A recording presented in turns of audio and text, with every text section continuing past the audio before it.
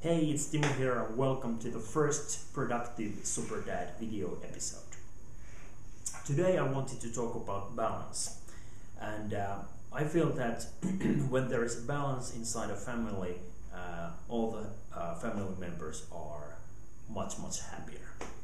And what I mean by this is that uh, we all have well, most of us have a very hectic lifestyle. We have lots of stuff going on. Uh, we might have different projects going on, and you know, babies crying and all that. But um, when I talk about balance, is that uh, you have to think if there is a chance to give some free time to your spouse as well.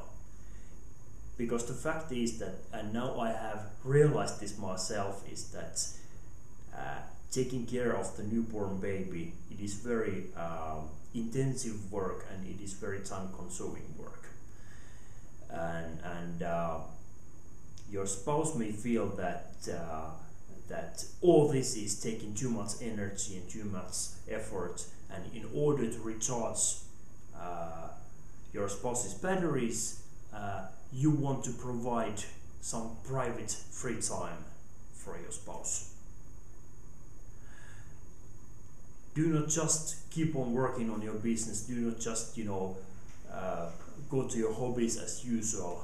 Uh, pay attention to what your spouse is saying and provide uh, some private personal free time for your spouse.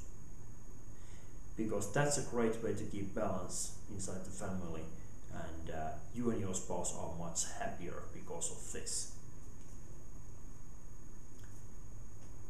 this is the tip that I wanted to talk you this time. Uh, I hope that you find it valuable and uh, please share this video on uh, different social marketing sites on Facebook, on Twitter, on Google Plus and uh, I will talk to you soon. Bye bye.